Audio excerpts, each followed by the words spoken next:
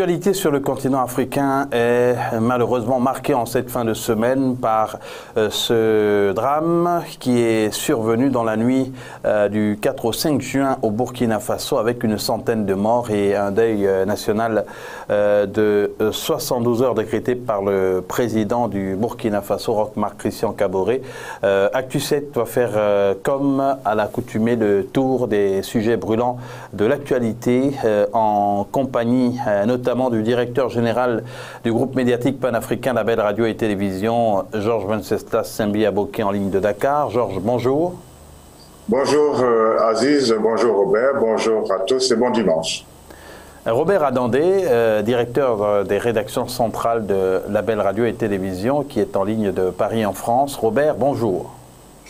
Bonjour Aziz, bonjour Georges, bonjour à vous chers téléspectateurs et excellent dimanche. Bonjour et bienvenue donc si vous nous rejoignez seulement maintenant. Le, fait de la semaine, c'est bien entendu euh, cette euh, tuerie euh, au Burkina Faso qui est survenue dans la commune de Seba, c'est dans la région du Sahel, avec une centaine de morts, euh, des personnes tuées euh, pour l'instant par des hommes armés non identifiés et bien entendu ce deuil national décrété par le président Roch-Marc Christian Caboret. Euh, la question du, terrorisme au Sahel pose un, véritable problème. C'est une équation difficile à résoudre, Georges Aboquet.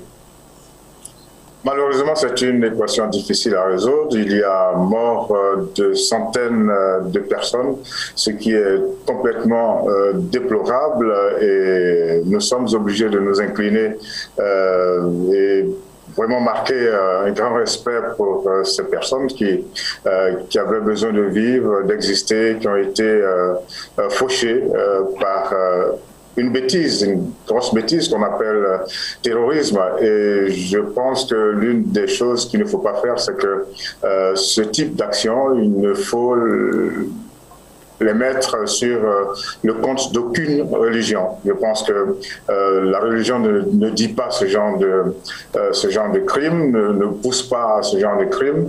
Et l'autre remarque qu'on doit pouvoir faire, c'est que c'est récurrent et euh, la question qu'on se pose, c'est que font les autorités euh, pour, euh, pour protéger leurs ressortissants? C'est une grande question. C'est vrai que le problème du terrorisme, il est important, mais il faut commencer à donner des réponses à cette situation. Le Burkina ne peut pas continuer de subir ce genre d'assaut.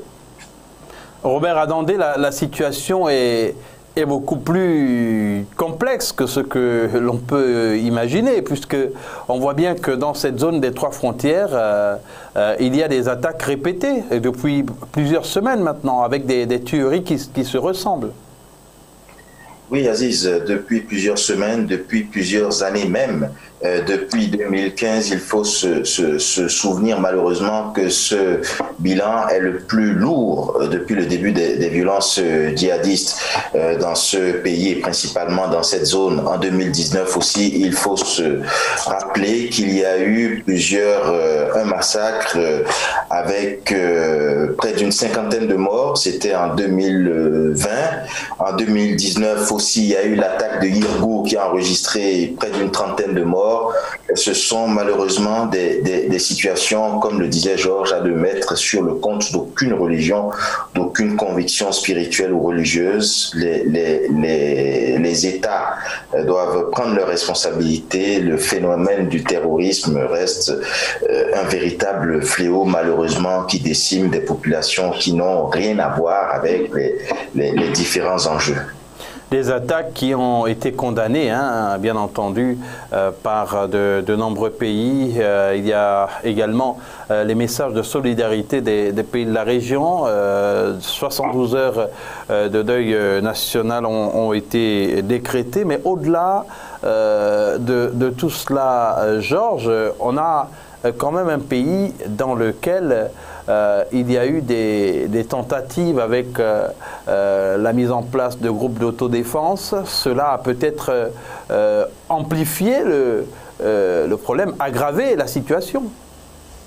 Euh, face à de telles difficultés euh, qui sont d'une ampleur, euh, dire terrible, il faut, je crois, garder pourtant la tête froide et faire des propositions de solutions adéquates.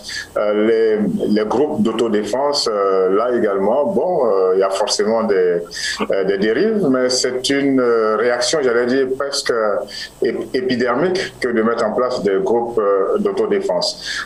on a envie de se poser un certain nombre de questions. Comment est-ce que le Burkina euh, faisait euh, quand euh, le président Blaise Compaoré était au pouvoir pour qu'il y ait, pour qu'il n'y ait pas autant d'attentats?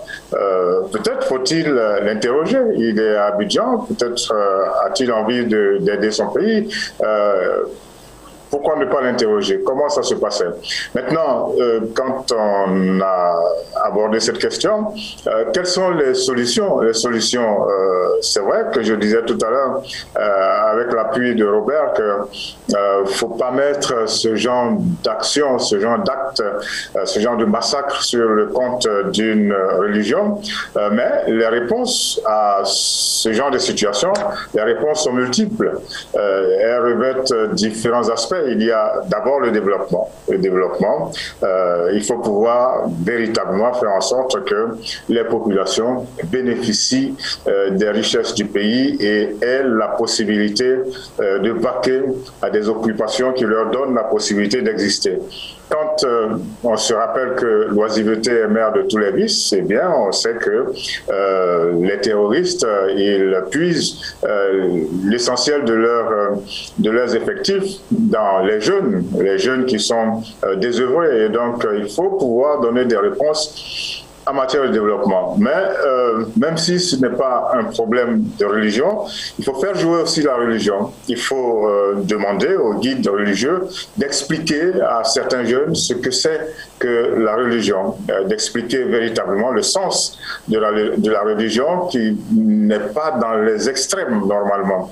Et donc, il y a un ensemble de mesures qu'il faut mettre en route, notamment l'information, développer l'information, donner des moyens aux forces de sécurité, euh, faire en sorte que les forces de sécurité soient euh, formées. En tout cas, c'est un, c'est un arsenal de solutions qu'il faut mettre en place. Le Burkina Faso a-t-il les moyens de le faire. Je pense que c'est là aussi que la solidarité doit pouvoir jouer. D'abord, dans cette zone de, des trois frontières avec le Niger et le Mali, mais il faut faire appel euh, à d'autres appuis, notamment les pays côtiers, parce que, encore une fois, euh, c'est des actes qui ont tendance à descendre vers les pays euh, de la côte et il faut demander que l'Afrique de l'Ouest joue de solidarité et même que la CDAO, la, euh, l'ONU, etc., se, euh, se, mettent ensemble pour essayer de donner euh, des solutions à ce genre de situation, sinon ça va être infernal. Il faut, Robert, de la solidarité, de la cohésion dans, les réponses et c'est bien sûr tout l'intérêt de faire en sorte que la, force du, G5 soit, Sahel soit véritablement opérationnelle, dispose également de relais en ce qui concerne les renseignements. Tout à fait. Il faut bâtir euh, toute une stratégie, une stratégie qui ne doit pas être contenue ou confinée dans un seul pays. Euh, les, différents pays, euh, même de toute l'Afrique, en dehors de cette zone, doivent se lever, s'asseoir, réfléchir et voir comment apporter une riposte efficace à ce genre d'action. Georges disait tout à l'heure qu'il était question de sensibiliser. La sensibilisation est importante. les religions doivent être mise à contribution pour euh, euh, sensibiliser surtout qu'il y a certains actes qui sont posés euh, sous le prétexte de cette, voilà, sous le prétexte de la religion, au nom de la religion. Donc il faut pouvoir déconstruire un certain nombre de, convictions de ce côté-là, sensibiliser les, ressortissants, apporter des réponses en termes d'occupation de la jeunesse, des occupations saines, des emplois, etc. C'est toute une stratégie qu'il faut pouvoir bâtir pour euh, euh, actionner les bons leviers de sorte que ce problème soit endigué.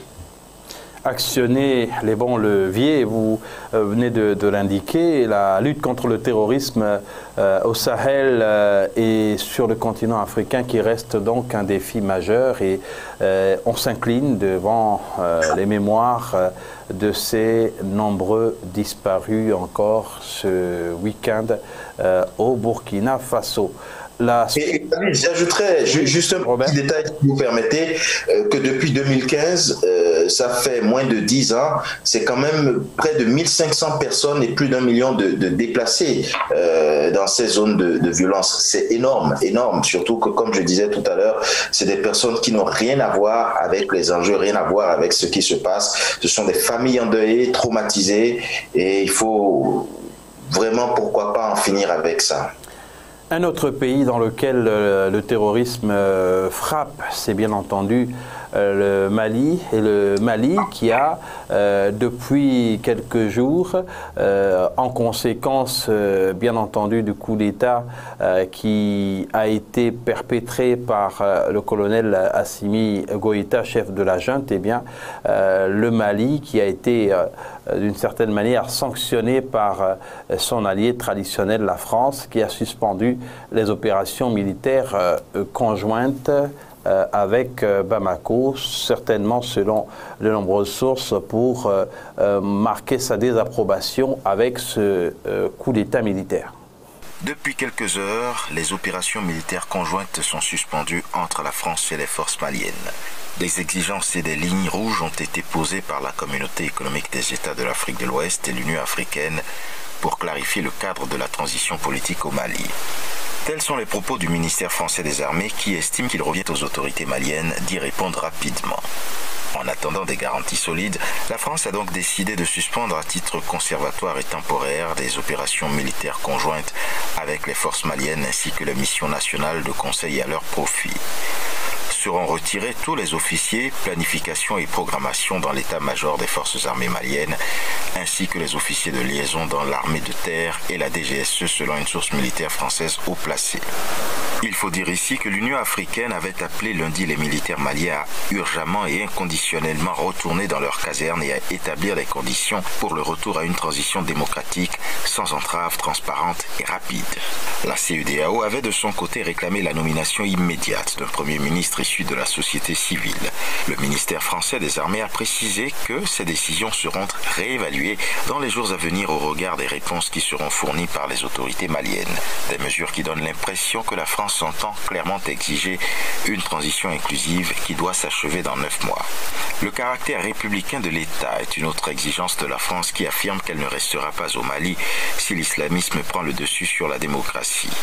Depuis le dernier coup de force mené la semaine écoulée, le Mali se retrouve sans gouvernement et cette annonce de Paris intervient après qu'Emmanuel Macron a déclaré dans un récent entretien que la question d'un retrait de l'armée française au Mali se posait avec le nouveau putsch militaire survenu à Bamako en mai.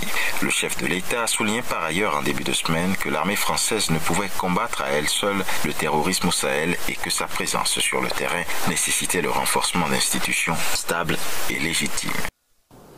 Comment expliquer, Robert Adandé, euh, cette euh, décision euh, de la, la, France? Alors que on, a, eu précédemment la situation au Tchad qui euh, selon de nombreux observateurs, euh, euh, demandait également une, une fermeté similaire. On est tenté de dire que c'est à la tête du client. Mais en ce qui concerne le, Mali, il faut dire que la France a toujours été très stricte, très stricte. là, on a le président Emmanuel Macron qui annonce euh, la suspension temporaire de sa coopération militaire. Mais bon, quand on regarde un peu cette euh, annonce ou cette décision, on sent qu'elle n'est pas si ferme que ça, parce que lui-même a indiqué que ce serait à titre conservatoire et qu'il avait besoin d'un certain nombre de gages, d'un certain nombre d'éléments d'assurance dont la tenue à bonne date euh, du scrutin dans les, délais annoncés et conformes aux engagements pris par la junte au pouvoir, etc. Donc, euh, la France a certainement besoin d'un certain nombre de euh, d'éléments de garantie avant de reprendre cette coopération avec le, le Mali, une coopération que l'Occident a estimée être tout de même stratégique par rapport à un certain nombre d'enjeux. Mais euh, Georges Aboquet, la force Barkhane euh, est, en place, euh, reste en place au, Mali. C'est une, suspension, Robert l'indiquait tantôt, qui a pour objectif peut-être de mettre un peu de pression.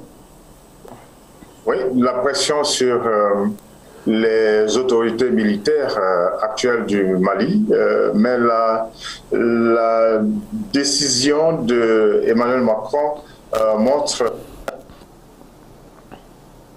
guerre d'influence euh, qui n'est même plus euh, cachée. Euh, tout le monde sait que de plus en plus la Russie a décidé de, de répondre à, l'appel de, certains Africains. cela certainement ne plaît pas du tout à Emmanuel Macron. On le voit en République centrafricaine et donc au Mali, il a décidé de prendre des mesures conservatoires de suspension. moi, ce qui me dérange, hein, personnellement, c'est que euh, la France est trop présente. Euh, euh, les Maliens demandent certainement à la France de les aider, mais les Maliens ne demandent pas à la France de venir faire la politique du Mali. Donc la France est trop visible, trop présente dans, un certain nombre d'affaires, notamment au Mali, en République centrafricaine, au Tchad, et ça fait beaucoup. Et ça commence à, à, faire jaser. et quand je dis que la, la France est présente, ça c'est dans les pays euh, militairement en difficulté. Mais il faut voir aussi les autres pays euh, qui sont en, en, paix entre griffes. Euh, la France également est trop présente au niveau économique. Donc la France, selon moi, doit commencer à revoir sa position et à revoir le type de relation qu'elle devrait entretenir avec les pays africains être trop présente comme ça, ça, a toujours été le cas. Ça commence à déranger les Africains. Et euh, au Mali, on le voit, la France est trop visible, en République centrafricaine, au Tchad, etc. Et dans les autres pays au niveau économique, ça fait beaucoup. Et bon, on attend de voir la suite euh, des, événements, mais euh, en même temps, en se retirant, la France peut-être laisse la place, et je ne suis pas sûr qu'elle ait envie de le faire, laisse la place à d'autres puissances. On va demander aux Africains peut-être de, de se souder. là, le Mali est en difficulté.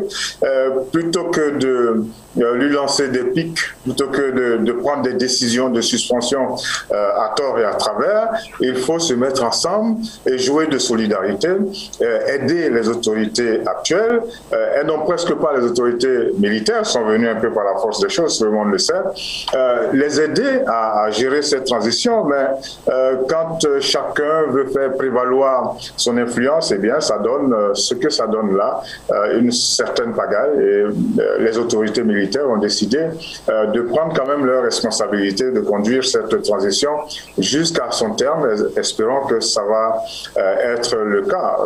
Sinon, ça risque d'être la catastrophe parce que le Mali également est soumis à des assauts euh, terroristes. Euh, euh, on reviendra tout à l'heure à la, situation en République centrafricaine. Robert Adandé, mais ce nouveau coup d'État, ou bien ce qui est perçu comme tel, est soutenu par de, nombreux Maliens. Il y a eu euh, le M5 RFP qui s'est réuni et euh, durant desquels euh, est issu le, prochain Premier ministre.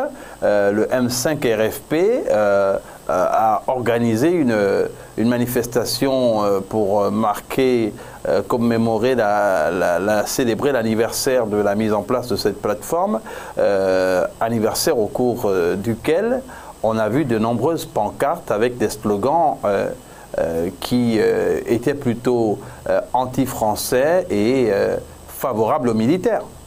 Mhm.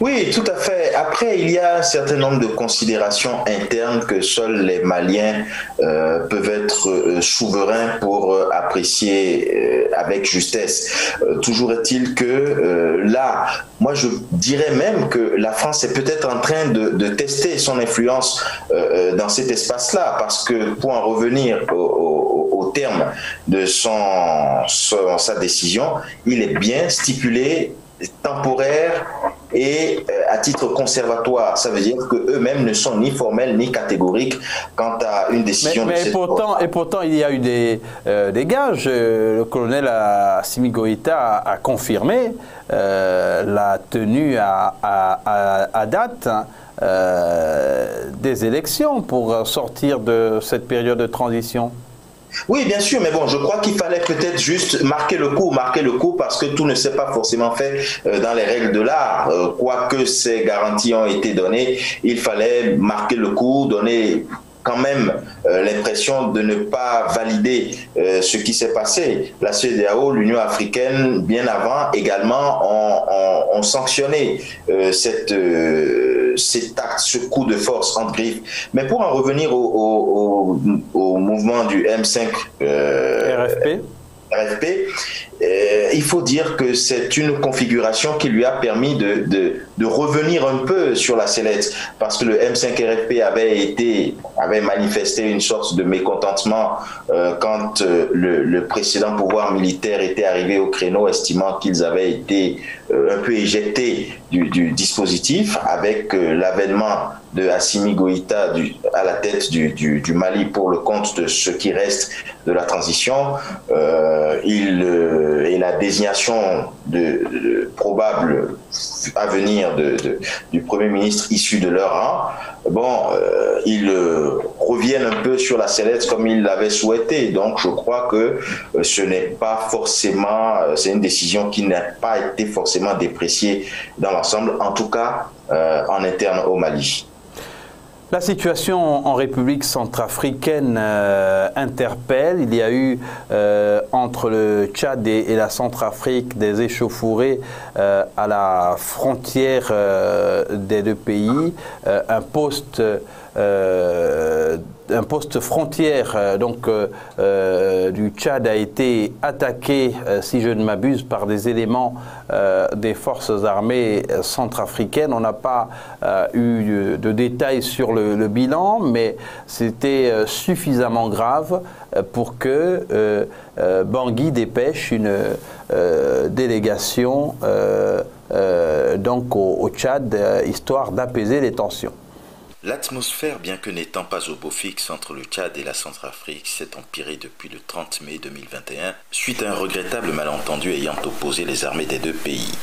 Malheureusement, les pertes en vies humaines ont été enregistrées, ravivant ainsi la tension entre les deux pays frères, puisque le Tchad, qui s'est dit agressé, a promis des représailles. Dans le même temps, le gouvernement centrafricain préconise une solution pacifique. En réalité, certaines informations font état de ce qu'au-delà de cet accrochage, les deux armées seraient tombées dans le piège des rebelles, dans un contexte de suspicion doublé d'un climat d'insécurité, puisque la plupart des rébellions aisément dans la région ont établi leur base arrière dans chacun des deux pays respectifs. L'offensive menée par les forces armées centrafricaines, la FACA, contre les rebelles de la coalition pour le changement dans la localité de Mang, ayant pris fuite en direction du territoire tchadien, a malheureusement occasionné des affrontements entre les armées régulières centrafricaines et tchadiennes. Certains observateurs lient la colère des autorités tchadiennes au fait que pendant cette expédition punitive contre les rebelles centrafricains, des soldats russes combattant aux côtés des FACA auraient été formellement identifiés. Des armes de fabrication russe utilisées à l'occasion auraient suscité le courroux des autorités françaises qui verraient d'un mauvais œil l'influence grandissante de la Russie dans ce précaré. La France qualifierait les instructeurs russes de mercenaires qui pillent les minerais en Centrafrique. Fait corrélé ou non, dans la foulée, le président Emmanuel Macron a annoncé à son homologue centrafricain Faustin Archange Touadéra que l'aide budgétaire 2020 ne sera pas décaissée et celle de 2021 suspendue. Il est bon de rappeler ici que le Tchad avait aidé la coalition rebelle de la Séléka à renverser le président François Bozizé à l'époque et avait également apporté son soutien à Faustin Archange Touadéra lorsque ce dernier est arrivé au pouvoir. S'étant émancipé peu à peu de ses mentors et surtout après son rapprochement avec le président Vladimir Poutine, le président Idriss Déby Itno n'avait pas manqué de prendre fait et cause pour la rébellion dont plusieurs leaders ont trouvé refuge au Tchad. La France fut à l'époque indexée de complicité. Par la suite, la capture le 10 mai dernier à Bangui d'un mercenaire français en la personne de Juan Rémy Guignolo, muni d'un arsenal de guerre et accusé par les autorités centrafricaines de vouloir fomenter un coup d'État avec l'appui des Tchadiens, contribue à raviver les tensions entre les deux pays avec en arrière-plan la France et la Russie. Une lutte d'influence qui se poursuit entre les différentes puissances sur le sol africain avec en ligne de mire la mémise des ressources naturelles. Robert Adandé, le Tchad et la Centrafrique, un, autre terrain euh, où s'exprime euh, cette euh, forme de, rivalité entre la République centrafricaine, pardon, entre la France et, la Russie Oui, Paris et Moscou sont en train de euh, de, jouer sur ce terrain-là et de, euh, tester, de jauger leur influence respective. Bon, six soldats tchadiens tués par des soldats centrafricains euh, dans cette zone déjà sensible, dans un contexte particulier où le Tchad vient de perdre Idriss Déby qui constituait une sorte de, rempart, une sorte de, pilier en termes de sécurité dans le pays. Bon, on voit quand même que euh, euh, la Centrafrique a joué la carte de, l'intelligence en allant vers euh, l'option de la diplomatie, l'option de l'apaisement, parce que bien évidemment les choses auraient pu se passer autrement et engendrer une nouvelle escalade entre ces deux pays. Et on voit, comme vous le disiez si bien, que la France et la Russie, Paris et Moscou, sont en train de voir euh, comment euh, renégocier leur part, malheureusement on va parler de façon triviale, leur part respective du gâteau dans ces espaces-là. Six morts, c'est regrettable, euh, c'est déjà trop, puisque un seul mort euh, est déjà considéré comme euh, suffisamment, grave, un seul mort enregistré. Et là, on a six morts et, peut-être plusieurs blessés. ce sont des situations qu'on voit malheureusement souvent entre plusieurs pays africains qui ont des frontières communes. Euh, des pays, souvent où il y a beaucoup de, minerais. Alors, euh, Georges Aboquet, beaucoup y voient des, des mains noires euh, qui, qui, manipulent pour attiser les dissensions. Aziz, euh, ces mains noires, depuis longtemps, ont reçu des coups de lumière. On sait que depuis longtemps, les forces armées françaises sont présentes en Centrafrique. Il y a les forces de la CEMAC, les forces de l'ONU, etc. Et les résultats, les, bons résultats ne, suivent pas.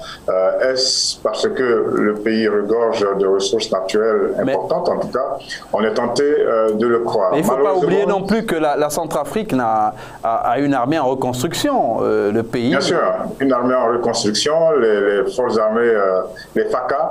Euh, bon, tout ça rend la situation difficile, compliquée, mais les premiers à trinquer, les premiers à souffrir, ce sont les, citoyens centrafricains. Et, et, maintenant, quand on met cela en rapport avec le Tchad, bon, il y a les citoyens tchadiens également. Donc, il est temps que les Africains voient où se trouve leur intérêt. Leur intérêt se trouve dans se mettre ensemble pour régler euh, les les problèmes qui se posent à eux.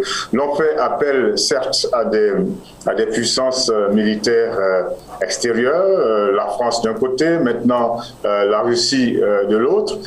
ces puissances viennent euh, tester leur, euh, euh, leurs armes, tester leur influence sur les territoires africains. Et puis, bon, qui trinque, qui, qui subit, ce sont les populations africaines. Je pense que, et je vais revenir encore sur quelque chose qui qui a l'air de ne rien avoir avec ça, le fameux sommet France-Afrique qui a eu lieu il n'y a pas longtemps sur la relance de l'économie en France, convoqué par Emmanuel Macron.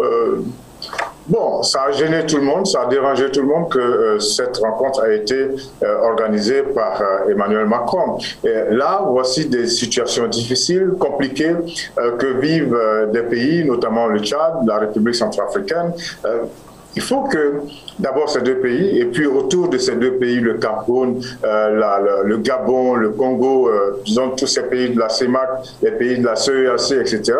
Et puis si on élargit euh, l'Union africaine, il faut se mettre ensemble, organiser des rencontres, discuter, dialoguer pour pouvoir trouver des, solutions. Mais il, ça ne va pas tomber du ciel. Oui, mais il y a eu justement une, une rencontre au Congo. Oui, mais une rencontre, de la, de la une rencontre ça ne suffit pas. Il faut des rencontres, il faut. De la CEAC pour tenter de Il faut mettre tous les problèmes sur la table et puis y aller. Alors, Robert Adandé, il y a plusieurs problèmes qui sont, posés, mais euh, dans l'immédiat, que peut-on espérer euh, de cette euh, configuration en, République centrafricaine et, au Tchad? Vous avez évoqué tout à l'heure cette démarche de Bangui de tout mettre en œuvre pour une désescalade. Est-ce qu'il est actuellement euh, clair euh, que les, choses vont, vont pouvoir euh, s'arranger durablement, vu que justement, il est pas établi, mais de, nombreux experts considèrent que c'est un, un, terrain d'affrontement de, ces deux puissances, notamment la Russie et la France. Moi, je crois qu'il faut que les, les, les, chefs de ces deux pays prennent de la hauteur et comprennent qu'ils euh, ne sont pas des ennemis l'un pour l'autre et qu'ils ne sont que des instruments au service euh, d'intérêts qui ne sont même pas euh, forcément les leurs, dont eux, ils sont plutôt les otages en quelque sorte. Parce que ce qui est en filigrane, c'est quand même le contrôle des mines d'or du, du nord-ouest de, de, de, de la Centrafrique. Et il faut rappeler aussi qu'il y a deux ans, environ un peu moins de deux ans. Il y a les diamants aussi. Exactement, exactement. Et justement, en 2019, le, gouvernement centrafricain avait rendu public de nombreux contrats miniers, euh, bon, tenus jusque-là euh, secrets, mais où certains noms de plusieurs entreprises russes apparaissaient euh, très clairement, ce qui marque l'intérêt quand même euh, euh, très évident, de, grandissant des entreprises russes et de la Russie en général pour ces espaces-là. Et la France, qui avait toujours été présente, ne compte pas non plus se faire ravir euh, ce qui constituait une sorte de chasse gardée pour elle. Donc euh, euh, voilà un peu comment on pourrait également voir ce qui se passe et on espère que avec cette diplomatie qui est en train de s'opérer de Bangui vers le, Tchad, la situation pourrait s'apaiser et puis qu'on n'irait pas vers une escalade de, de violence ou de tension par la suite. Euh, Georges Aboquet, pour euh, euh, boucler ce, dossier, on est là de façon évidente dans une, phase de, partage de, ressources de certains pays africains sous les yeux de tout le monde.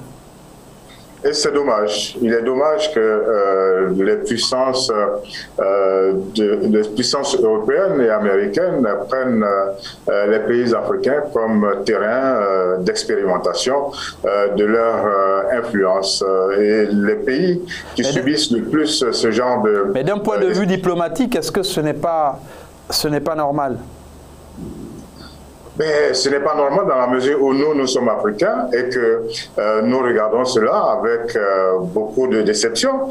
Euh, maintenant, il revient, comme je le disais, aux Africains de se battre. Quelqu'un disait que les Européens, bon, ben, ils, font ce qu'ils veulent, ils vont chercher les, moyens là où ils peuvent, leurs intérêts sont en jeu, mais c'est à nous aussi de faire en sorte que nos intérêts soient préservés. Euh, le Tchad et euh, la République centrafricaine euh, doivent se mettre ensemble pour trouver des solutions plutôt que de subir, plutôt que de servir d'instrument d'influence de, de, ces pays européens et américains. il faut que les dirigeants africains arrivent à avoir des ressorts pour se mettre ensemble et puis voir où se trouvent leurs intérêts. Je suis sûr que le Tchad et la République centrafricaine ont les mêmes intérêts ont besoin d'avoir euh, de la quiétude, ont besoin d'obtenir euh, la paix pour pouvoir euh, continuer leurs activités de développement. Et donc, cela ne sert à rien de se de se taper dessus, de se, euh, d'enclencher des, euh, des coups de guerre dans les postes frontières. Euh, il faut au contraire organiser des rencontres de dialogue, faire intervenir peut-être des médiateurs africains, d'Afrique centrale, etc. Et puis faire, faire jouer la solidarité, parce que tous ces pays dont on parle là, ils ne viennent pas pour les beaux yeux des Africains, ils viennent pour leurs intérêts. Maintenant, il est grand temps que les dirigeants africains se rendent compte que, bon, il faut préserver aussi leurs intérêts, il faut préserver leur population, parce qu'on a l'impression que 1000, euh, morts tchadiens, 1000 morts euh, euh, centrafricains, eh bien, ça fait même pas un mort européen, ce qui n'est pas normal. Il faut, une vie, c'est une vie, une vie, ça compte. Et, il faut que l'Union africaine, les organisations régionales, les dirigeants africains, il faut qu'ils se réveillent euh, pour prendre des initiatives et organiser euh, ce qu'il faut comme sommet, comme rencontre, euh, pour trouver des solutions à ce genre de difficultés. Et nous avons donc comme euh, autre actualité en, Afrique de l'Ouest, c'est l'annonce par euh, le FPI pro Laurent Gbagbo du retour de l'ancien président ivoirien après plus de dix ans d'absence et après avoir été euh, acquitté en, appel par la Cour pénale internationale. Un, retour qui ne semble pas plaire à de nombreux tenants du pouvoir, puisque euh, selon des sources crédibles, eh bien, euh, le gouvernement dit n'avoir pas été euh, associé au retour fixé à cette date. Je vous annonce que le retour du président Laurent Gbagbo sur la terre de Côte d'Ivoire est prévu pour le 17 juin. C'est ce qu'a déclaré lundi 31 mai à Souadou le secrétaire général du FPI, le Front populaire ivoirien, le parti créé par Laurent Gbagbo, ex-chef d'État ivoirien qui présida aux destinées de son pays de 2000 à 2010. Acquitté de crimes contre l'humanité par la justice internationale en mars, l'ex-chef d'État ivoirien attendait le quitus d'Abidjan pour rentrer. Cette formalité passée, Laurent Gbagbo rentrera donc dans son pays le 17 juin après 10 ans d'absence. Un retour très attendu par ses partisans et qui interviendra suite à son acquittement par la justice internationale de crimes contre l'humanité. Les négociations relatives aux conditions de ce retour ont eu lieu ces dernières semaines entre le parti de Laurent Gbagbo et le gouvernement qui veut absolument éviter tout débordement au moment de l'accueil que souhaite lui réserver à Abidjan ses partisans par milliers. Au nom de la réconciliation nationale, les autorités avaient, fin 2020, octroyé à Laurent Gbagbo deux passeports. L'un ordinaire, le second diplomatique, et l'ex-président avaient alors exprimé son souhait de rentrer dès décembre. Au début du mois d'avril, le président Alassane Ouattara avait lui-même donné son blanc-seing pour le retour de son principal rival à la présidentielle de 2010, laissant à Laurent Gbagbo la liberté de déterminer le moment de son choix. Alassane Ouattara avait ajouté par la suite que le retour de son prédécesseur et de sa famille serait pris en charge par l'État et qu'il bénéficierait des avantages dus aux anciens présidents. Georges Aboquet, euh, le gouvernement euh, dit n'avoir pas été euh, informé sur euh, l'arrivée le 17 juin de l'ancien président Laurent Gbagbo. Enfin, c'est un ministre du gouvernement ivoirien qui l'a indiqué. Que, doit-on comprendre par cette déclaration? Bon, il faut certainement comprendre que le retour du président Gbagbo bon, crée euh, dans les esprits euh, comment on va dire ça, un certain nombre de difficultés. Euh, moi, selon moi, il faut que, que ce soit les, les, partisans du président Gbagbo ou les autorités gouvernementales, il faut gérer cette affaire avec beaucoup de sérénité, tout simplement. A-t-on besoin, là encore, de se tirailler pour une date. Le, sujet euh, traité par Robert dit qu'il euh, y avait concertation entre le gouvernement et euh, les, membres du parti du président Gbagbo. Donc, il suffit simplement, selon moi, hein, de s'asseoir, discuter et puis trouver un terrain d'entente plutôt que de vouloir chercher à, étouffer.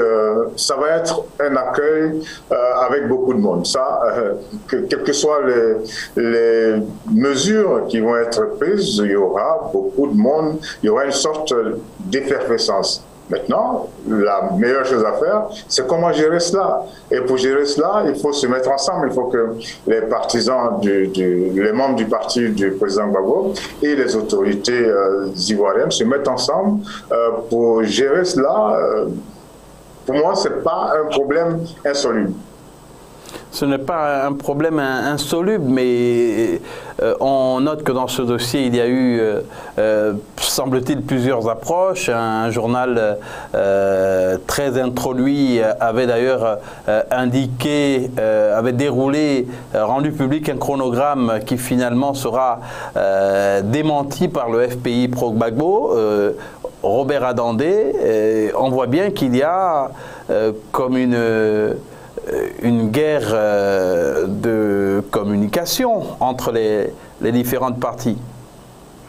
Oui, il y a une guerre de communication parce que l'enjeu reste de taille aujourd'hui quant à l'avenir de la réconciliation nationale en Côte d'Ivoire. Euh, le président, l'ancien président Laurent Gbagbo reste un personnage clé qui, dont le retour chamboulerait les donnes, qu'on le veuille ou pas. Euh, alors, on a plusieurs camps. On a le camp des, des pro-Gbagbo, on a les, les, les extrémistes Gbagbo aussi, je peux m'exprimer ainsi, les Gors, les Gbagbo ou rien. On a aussi le camp présidentiel, euh, qui appelle le camp présidentiel, en tout cas le, gouvernement ivoirien. Euh, je crois que l'objectif des uns et des autres est de pouvoir contenir le retour du, du président Gbagbo, mais malheureusement, qu'on le veuille ou pas, Georges a dit quelque chose de très important quel que soit ce qui se passera, le retour du président Laurent Gbagbo ne passera pas inaperçu. Le retour du président Laurent Gbagbo ne sera pas un non-événement. Ce sera quelque chose de très attendu depuis plusieurs années. Et donc, il faut, puisque de toutes les manières, euh, la date est déjà annoncée et euh, je crois que euh, changer cette date pourrait créer plus de problèmes qu'elle ne saurait en résoudre. Donc, voir comment s'organiser au mieux pour que cette situation soit contenue et que les uns et les autres euh, se retrouvent dans leurs euh, différents intérêts. Laurent Gbagbo, de retour euh, en, Côte d'Ivoire le, 17 juin, Georges Aboquet, il y a une organisation qui est en place. comment parvenir à, contenir cette, cette, effervescence euh, Robert l'a indiqué tantôt, euh, on, sait dans quelles conditions Laurent Gbagbo a quitté le pays. Euh, il a de nombreux partisans. comment arriver, comment arriver à contenir cette effervescence? Une chose est claire, Aziz, euh, ça ne va pas être la première fois euh, que la Côte d'Ivoire connaît une effervescence. Euh, on a vu par exemple, je ne sais plus en quelle année, ça devrait être en 2010, je crois, 2009-2010, quand la Côte d'Ivoire a pu se qualifier pour, pour la première fois. à la Coupe du Monde? À la Coupe du Monde ça devait être en 2006, si je ne me trompe pas. Bon, euh, on a vu l'effervescence que ça crée quand les Drogba, euh, quand Drogba et ses, partenaires sont, arrivés. Mais tout ça euh, pour dire que que ce soit le 17 juin ou euh, une autre date, euh, il faut s'asseoir, c'est-à-dire que les autorités euh, gouvernementales s'asseyent avec les membres du parti du Gbabo pour gérer, pour gérer cela. la chose la plus difficile à, vouloir faire, ça va être de, de dire, comme l'avait dit le journal dont vous parliez, que Gbabo rentre en, en catimini. ça va être difficile euh, il a été acquitté, il est parti, tout le monde a vu les images à travers le monde, comment il est parti. Euh, il a été acquitté euh, vraiment jusqu'au bout par la CPI. Il va rentrer en triomphe. je pense que entre vouloir contenir ce triomphe et ceux qui ont envie d'être débordants, débordants, il faut trouver le juste milieu. Il faut trouver, et le milieu, ça va être de jouer la carte tout simplement de la, réconciliation. Faire en sorte que ce retour s'inscrive dans le cadre de la réconciliation. Avec, euh, un comité euh, d'accueil qui est mis en place. Ce comité, euh, s'il travaille bien avec les autorités gouvernementales, il n'y a pas de raison qu'il y ait des, comment on va dire ça, qu'il y ait des des débordements exagérés. Euh, il suffira, je pense, euh, d'organiser euh, ce retour et de faire en sorte que ce retour soit inscrit en bonne et due forme dans le cadre de la réconciliation. Si ça c'est fait, je pense qu'il n'y a pas à s'empêcher de dormir. La réconciliation passe avant tout. La réconciliation est ce qu'il y a de, plus important pour, euh, pour les Ivoiriens. Robert Adandé, euh, il euh, faut donc miser sur cet aspect pour mettre tout le monde d'accord.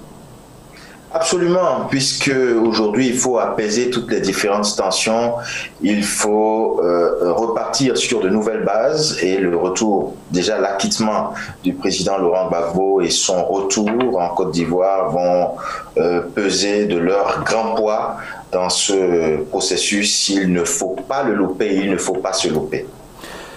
Il ne faut pas se louper, en tout cas c'est une actualité qu'on suivra. Et puis ce que je voudrais, euh, Aziz, excusez-moi, ce que je voudrais juste ajouter, hein, c'est que ce retour du président Babo ressemble à un test un test aux Ivoiriens, mais surtout un test euh, pour les autorités gouvernementales, mais un test également pour les partisans du président Babo. C'est-à-dire, euh, il faut véritablement regarder, c'est un test, euh, il faut pouvoir, c'est un défi pour pouvoir le relever. Si c'est bien géré, je pense que ça va être mis à l'actif de la réconciliation. Alors si on prend la réconciliation comme point de mire, je suis convaincu que, bon, ce retour va se faire certes avec le triomphe euh, qui est attendu, mais euh, au détriment de personne. Euh, ce sera au profit de la, de la réconciliation. Je pense que c'est ça qui doit être l'élément principal. Une actualité que nous suivrons, vous imaginez, avec beaucoup d'intérêt. et l'on en vient à cette actualité au Nigeria, également, qui a beaucoup fait parler et qui a été commentée. C'est la décision des autorités d'Abuja de suspendre le réseau social américain Twitter euh, après qu'un tweet du président Buhari a été supprimé. Un tweet qui euh, s'en prenait aux, séparatistes euh, qui se trouvent au sud-est du pays. C'est une, marque de, de, souveraineté. Robert Adandé alors, euh, très certainement, très certainement, parce qu'il s'agit du, numéro un du pays, donc euh, du pays, comme il est dit dans un des articles, du pays le plus peuplé euh, d'Afrique, d'un pays économiquement fort également. Alors, le gouvernement nigérian qui annonce de suspendre Twitter pour une durée indéterminée parce que le réseau social aurait supprimé mercredi dernier deux tweets consécutifs du président Mohamed Bouhari dans lesquels il euh, s'en prenait euh, de façon plutôt ferme, hein, en, termes de menaces même d'ailleurs, aux séparatistes euh, biafrais.